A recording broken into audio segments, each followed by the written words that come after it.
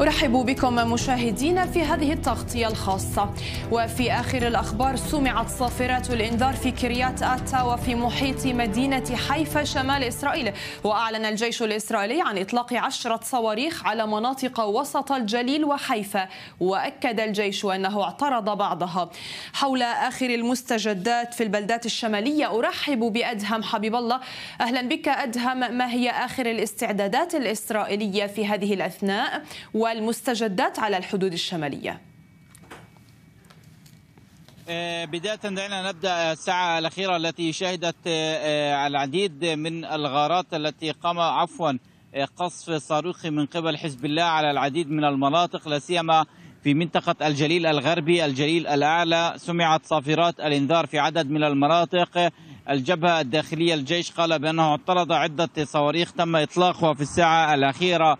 من قبل حزب الله في تلك المناطق التي ذكرناها دون وقوع أي إصابات أو أي أضرار. ولكن هناك قصف يعني عفوا هناك صوت ضخم وقوي جدا للطائرات الحربية الإسرائيلية في العديد من المناطق لا سيما هنا بالقرب من مدينة نهارية من منطقة شلومي.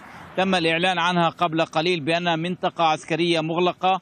خرجنا من تلك المنطقة على ضوء هذه التعليمات التي أعطيت من الجيش الإسرائيلي قبل قليل على ضوء التطورات لا سيما التقارير التي تحدثت عن اقتراب موعد بدء الاجتياح البري والعملية العسكرية البرية الإسرائيلية في داخل لبنان. لذلك بداية نرصد آخر التطورات. نحن نتحدث عن أكثر من عشرة صواريخ على الأقل تصوب من لبنان تجاه البلدات الإسرائيلية. شكرا لك أدهم إبقى معنا وأتحول إلى سعيد محاجنا أيضا من الحدود الشمالية. أرحب بك سعيد ضعنا وأرصد معنا آخر المستجدات. يعني نبدأ داليا بهذا الخبر العاجل. فوفق شهود عيان لبنانيين في هذه اللحظات يؤكدون رصد تجمعات عسكرية كبيرة إسرائيلية أمام بلدة الوزاني في جنوب لبنان، الحديث يدور عن تجمع لعشرات الدبابات والآليات العسكرية في هذه اللحظات أمام بلدة الوزاني، تحديدا في القطاع الشرقي للحدود اللبنانية الإسرائيلية. على ما يبدو أنها مقدمة للدخول البري، على ما يبدو أن الجيش الإسرائيلي الآن الآن بدأ بالاقتراب من الحدود اللبنانية الإسرائيلية والتجمع بالقرب من الحدود لربما قد نشهد خلال الساعات.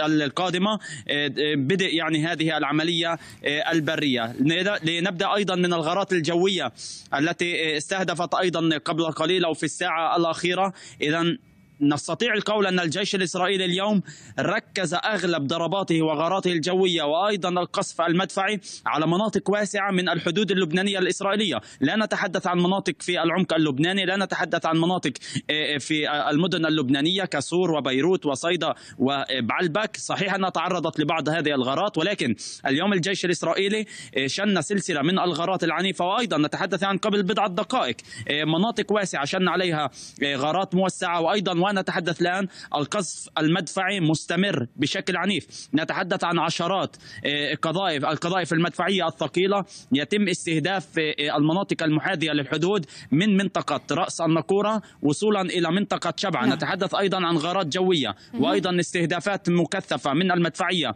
في منطقة كفر كلا الخيام أيضا منطقة العديسي وأنا أتحدث الآن الحديث أيضا يدور عن قصف عنيف جدا يستهدف بلدات كفر كلا والوزاني. نتحدث عن مناطق قريبة جدا على ما يبدو هذا يشير إلى أن الجيش الإسرائيلي سيبدأ الدخول البري من القطاع الشرقي للحدود اللبنانية الإسرائيلية. نتحدث عن مناطق الممتدة ل أو القريبه من منطقة المطله وأيضا شمال كريات شموني هذه المناطق والقريبه أيضا من جنوب جبل الشيخ وصولا إلى المنطقة في إصبع الجليل. نتحدث عن القطاع الشرقي. هذه المنطقة تمتد نعم. على مسافة خمسة كيلومترات أو ستة كيلومترات من منطقة الغجر وصولا حتى كريات شموني على ما يبدو أن الجيش الإسرائيلي في هذه اللحظات يقوم نعم بالتمهيد سعيد. للقوات التي ستدخل عبر الاستهدافات المكثفة. اذا تجمع لعشرات الدبابات أمام بلدة الوزاني كما أفدتنا سعيد ولربما هي إشارة لاجتياح بري وشيك على لبنان. ابقى معنا. سنعود إليك بطبيعة الحال في سياق هذه النشرة. أعود إلى أدهم وفي آخر المستجدات. مرة جديدة أهلا بك أدهم. أريد نعم أريد أن نضيف على ما قاله الزميل سعيد محاجنة في كل ما يتعلق أولا بأمر الجيش الإسرائيلي تحويل بعض المناطق لا سيما في منطقة إصبع الجليل. نحن نتحدث عن المطلة كفار جلعدي وأيضا آه، منطقة آه، رأس آه، عفوا في تلك المنطقة تحديدا المطله وأيضا حتى كفار جلعدي كل هذه المنطقة هي منطقة عسكرية مغلقة. وبموجب هذا القرار ماذا يعني أمر منطقة مغلقة؟ بموجب صلاحيتي وفق البندين لقوانين الدفاع الإسرائيلية القائد العسكري هو المسؤول عن تلك المنطقة. إغلاق المنطقة المحددة يتم إغلاقها للدخول وللتواجد. يعني قبل عدة أيام كان بإمكاننا التواجد في تلك المنطقة. الاقتراب منها حتى حدود كفار العادي هي متاخمة أيضا وقريبة جدا من بلدة المطلة إغلاق تلك المنطقة لا سيما وأن إسرائيل وضعت هناك الحواجز الإسمنتية ببداية الحرب بعد آه، آه، توجيه حزب الله صواريخ يعني كانت مضادة للدروع كانت تصل مباشرة نحو المركبات الإسرائيلية.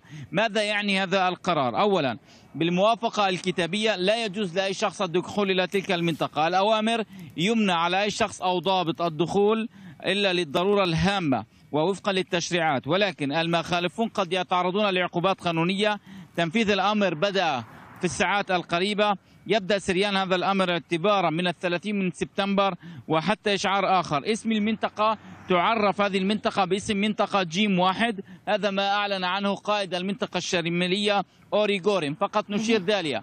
قبل قليل انتهى اجتماع في مقر القيادة الشمالية بحضور أوري جورين بالإضافة إلى عدد أيضا كبير من الضباط الإسرائيليين.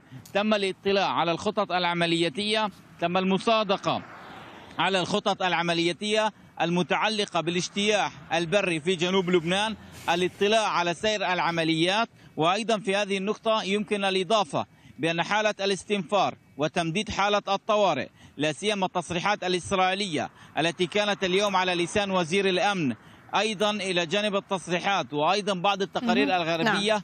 كلها مؤشرات على بدء الاجتياح المرتقب لجنوب لبنان سنوافي بالتفاصيل بعد نعم. ذلك. إذا التصريحات الأخيرة فيما يتعلق بالعملية البرية الوشيكة في لبنان. شكرا لك أدهم حتى هذه اللحظة وابقى معنا. وجه رئيس الوزراء الإسرائيلي بنيامين نتنياهو رسالة إلى الشعب الإيراني قال فيها إن إسرائيل تقف إلى جانبهم. كما أكد نتنياهو أنه لا يوجد مكان على وجه الأرض لا يمكن لإسرائيل الوصول إليه. أنا أريد أن أتحدث عن قادة إيران في هذا الوقت. أريد أن أوجه رسالة إلى شعب إيران. أنا أريد أن أتوجه إليكم مباشرة بدون أي وسطاء يوميا أنتم ترون النظام الذي يهددكم. يتحدث عن حماية لبنان وغزة. يوميا ذلك النظام يدفع بكم نحو الظلام ونحو الحرب. يوميا يوميا وكالائهم يتم تصفيتهم. اسألوا محمد ضيف اسألوا نصر الله لا مكان في في الشرق الأوسط لا يمكن لإسرائيل أن تصله لا يوجد مكان لا يمكن أن نصل إليه لحماية شعبنا ودولتنا. في كل لحظة النظام يجلب لكم الشعب الفارسي النبيل إلى الانتكاسه غالبية الشعب الإيراني يعرف تعرف أن النظام لا يهتم بكم. لو كان يهتم بكم لكان توقف على إنفاق مليارات الدولارات على تعزيز تركيز الحروب في الشرق الأوسط على أن كان سيستثمر بكم. تخيلوا لو كل هذه الأموال التي أنفقها النظام على السلاح النووي وتشجيع الحروب في العالم كان سيستثمر في تربية أطفالكم وفي نظامكم الصحي وفي بناء بنيتكم التحتية المياه وغيرها. كل شيء تحتاجونه. تخيلوا ذلك. ولكن هناك أمر بسيط يجب أن تعرفونه. الطغاة الإيرانيون لا يهتمون لا يهتمون بمستقبلكم ولكنكم أنتم تهتمون. حينما ستكون إيران حرة وهذه اللحظة ستأتي بأسرع مما تفكرون. كل شيء سيكون مختلف. شعبان الشعب اليهودي والشعب الفارسي سيعيشون بسلام. دولتان إسرائيل وإيران ستعيشان بسلام. حينما هذا سيحدث المنظومة الإرهابية التي بناها النظام في القارات الخمسة سيتم تفكيكها. إيران ستتطور وستنمو كما لم تنمو بالماضي.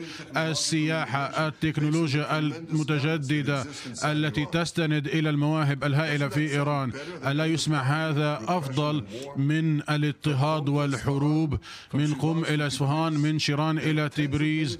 عشرات ملايين من الأشخاص الجيدون ولديهم خلفية تاريخية كبيرة وينتظرهم مستقبل كبير. لا تجعلوا الطغاة يقمعون أحلامكم تستحقون الأفضل. أطفالكم يستحقون الأفضل. العالم يستحق الأفضل. أعرف أنكم لا تؤيدون اغتصابات وعنف حماس وحزب الله ولكن قادتكم يفعلون تستحقون أكثر. الشعب الإيراني يعرف أن إسرائيل تقف إلى جانبكم لنصل إلى مستقبل أفضل من الازدهار والسلام. من جانبه قال نائب الأمين العام لحزب الله نعيم قاسم بعد اغتيال أمين عام الحزب حسن نصر الله. إن الحزب يتابع القيادة والسيطرة وفق هيكلية الحزب. وهناك بدائل لكل قائد حين يصاب. وأكد قاسم أن الحزب سيختار أمينا عاما بأقرب فرصة.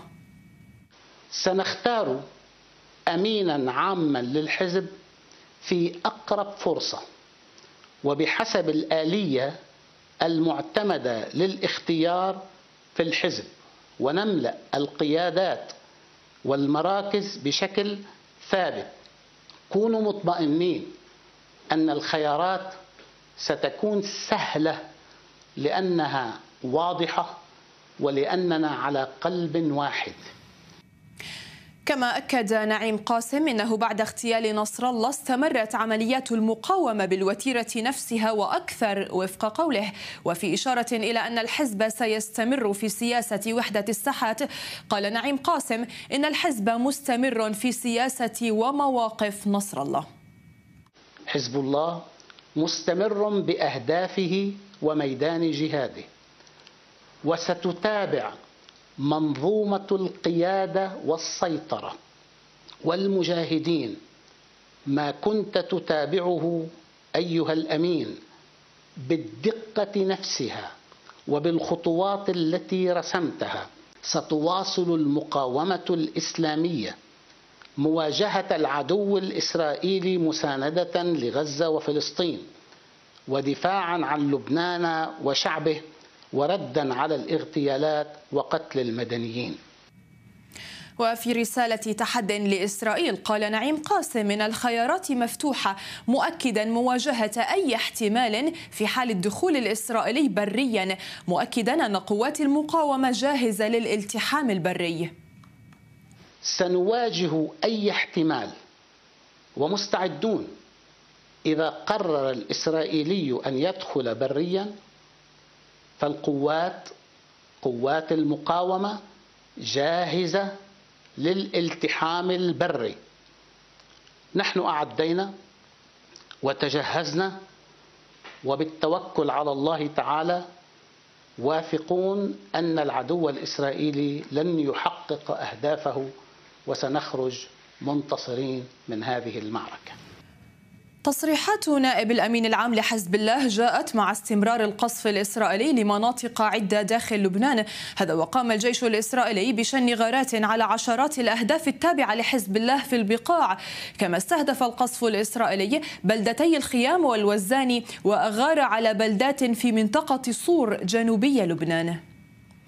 وفي السياق تواصل إسرائيل عمليات الاغتيال داخل لبنان فيما أعلن الجيش الإسرائيلي اغتيال قائد حركة حماس في لبنان فتح شريف أبو الأمين مع زوجته وابنيه بغارة جوية إسرائيلية استهدفته بمنزله في مخيم البص جنوبي لبنان. وسبق أن استهدف الجيش الإسرائيلي في غارة في العاصمة بيروت ثلاثة من عناصر الجبهة الشعبية لتحرير فلسطين وهم محمد عبد العال وعماد عودة وعبد الرحمن عبد العال في أول غارة إسرائيلية خارج الضاحية الجنوبية لبيروت. امبارح الساعة واحدة بالليل كسفوا البناية اللي موجودة خلفك حد بنايتنا اللي هون. استهدفوا الطابق الخامس. بما إنه كان الكل نايمين صوت الصدى الانفجار كان كتير كتير قوي.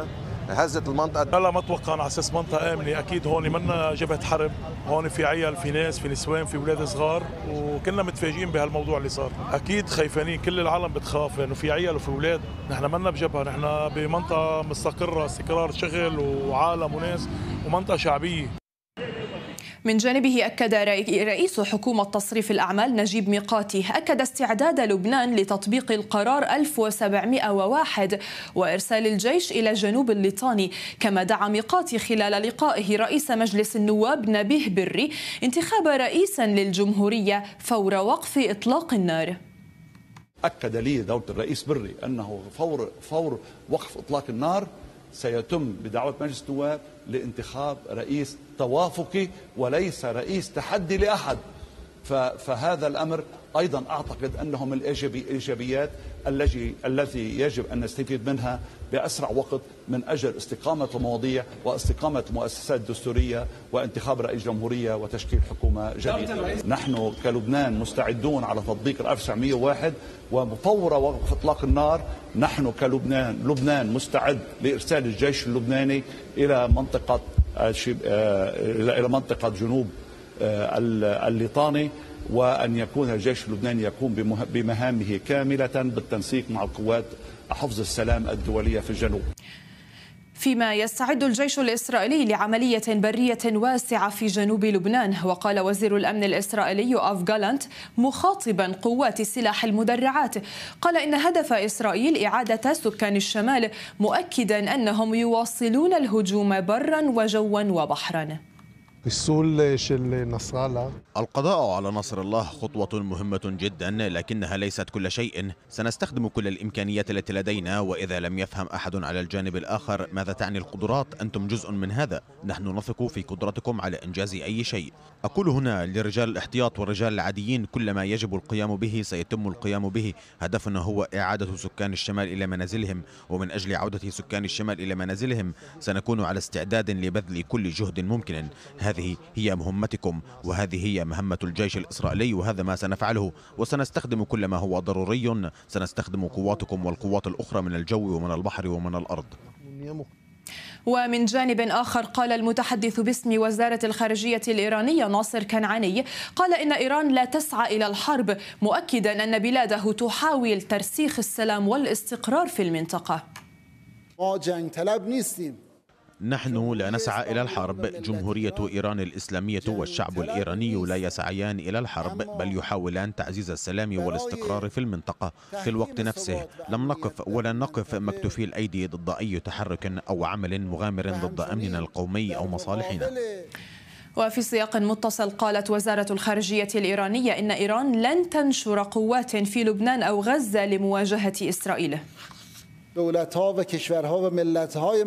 لبنان وفلسطين لديهما القدرة والقوة للدفاع عن نفسيهما ضد عدوان النظام الصهيوني وليس هناك حاجة لإرسال قوات إضافية أو متطوعين من الجمهورية الإسلامية الإيرانية. لم نتلقى أي طلب بهذا الخصوص من أي جهة بل على العكس. نحن على علم ومتأكدون أنهم لا يحتاجون إلى مساعدة قواتنا التدخلية. أعود مرة أخرى إلى سعيد محاجنا. أهلا بك سعيد كنت قد حدثتنا عن عشرات الدبابات المتجمعة بالقرب من الحدود الشمالية.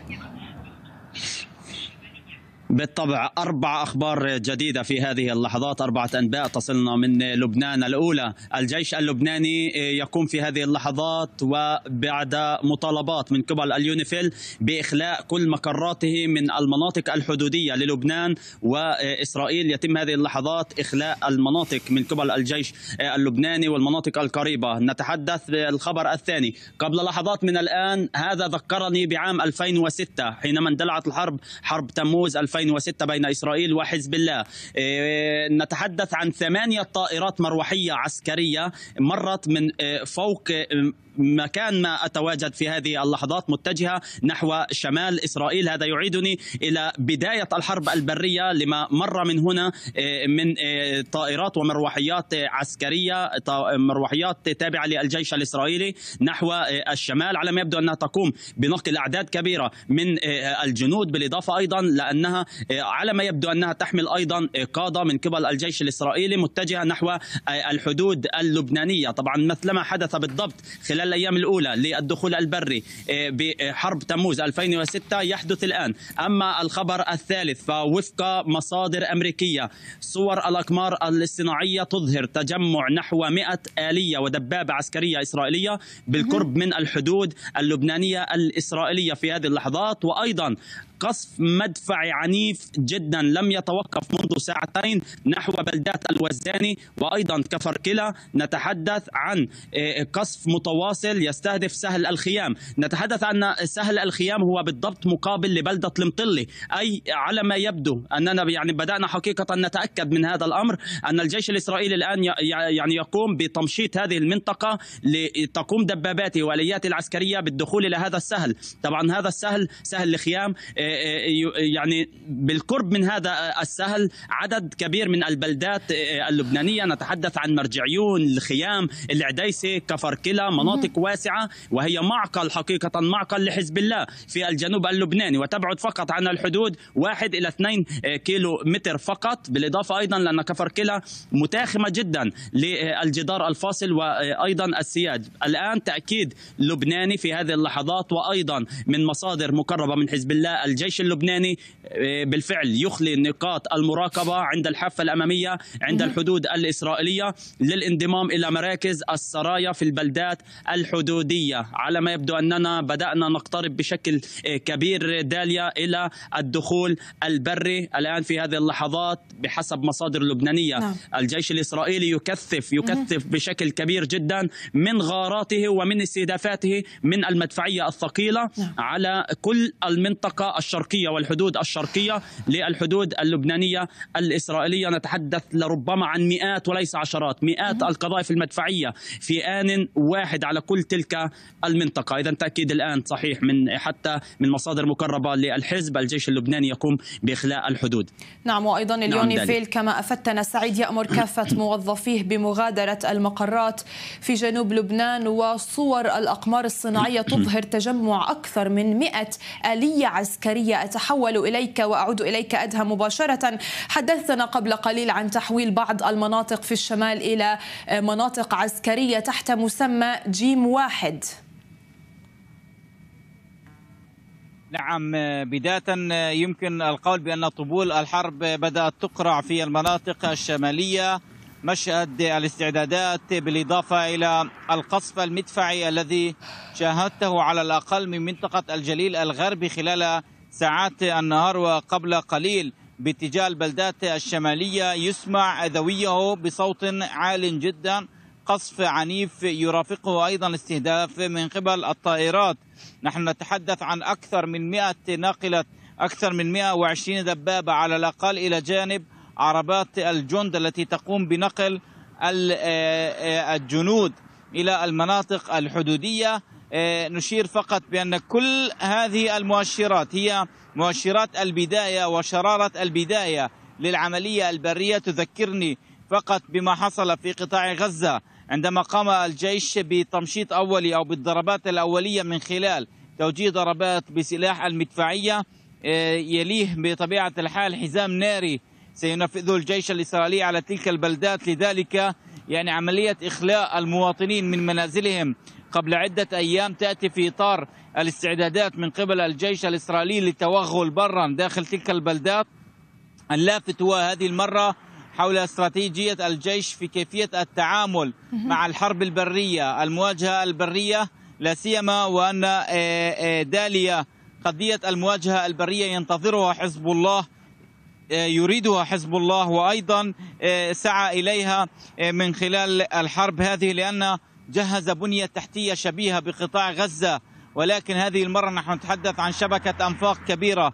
إيه، كانت هناك العديد من الأصوات التي سمعت منذ عام 2006 من المواطنين الإسرائيليين على طول الشريط الحدودي بحجة أن هناك أنفاق بنيت أو بناها حزب الله تحت الأرض وخشية من عمليات تسلل أو عمليات إيه، إحتلال قد يكون بها الحزب من قوة الرضوان. وعليه هذا السيناريو أولا سنتابعه في الساعات القريبة بعض بعض القادة العسكريين لا سيما السابقين طالبوا الجيش بتسطيح لبنان في مناطق الجنوب والبلدات الجنوبية لا سيما نحن نتحدث عن البلدات الواقعة بالشريط الحدودي القريبة جدا من أجل تدمير كافة الأنفاق نعم. والاستعداد للدخول برا. السؤال هذه المرة آه، لو سمحتي السؤال كيف سيتعامل الجيش الإسرائيلي مع تلك التحديات؟ وأنا أريد أن نتطرق إلى نقطة هامة كنا قد تحدثنا عنها ولكن اسمحي لي أن نتحدث عن ذلك مرة أخرى. كافة التدريبات التي أجراها الجيش الإسرائيلي والمناورات منذ عام 2006 لا سيما الوقوف عند الجهوزية من أجل مواجهة مقاتلي حزب الله في المعركة البرية. الجيش الإسرائيلي كان يقول بأن مقاتلي حزب الله أكثر آه، يعني مدربون بشكل جيد لا سيما أنهم خاضوا معارك قوية في داخل سوريا بمحاربة داعش وعادوا منتصرين إليها.